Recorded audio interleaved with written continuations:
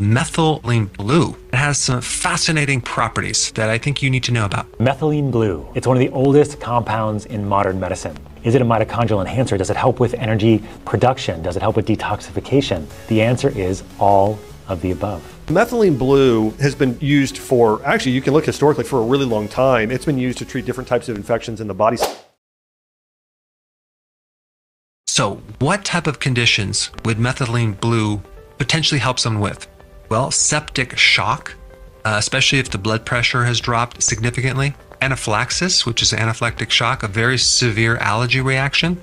If someone had a virus, because it has very potent antiviral properties, it's good for brain fog, memory loss. It's been studied to help people with depression, anti candida properties as well.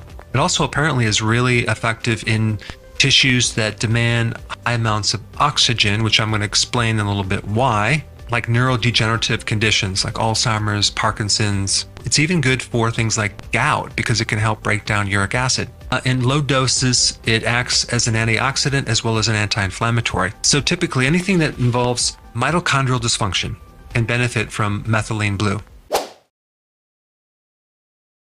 Methylene blue can act just like oxygen in the mitochondria which means that it can help you make energy for longer from an aerobic perspective, meaning that you can maintain a heart rate longer, typically with methylene blue on board, compared to having it not on board. And we've seen this clinically and anecdotally. It hasn't been studied in research yet, but it's not subtle if you get the dosing right.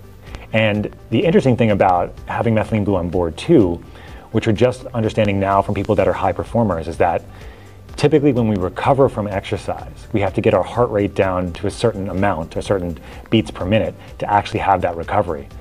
But with methylene blue on board, it seems that you can recover at a higher heart rate overall, which is a fantastic thing. There are studies now showing it actually helps healing and energizing our mitochondria. It actually helps your body create cellular energy. And there's a lot of patients with chronic infections, even like Lyme and different viral infections as well, parasites, that respond really, really well to methylene blue. Interesting.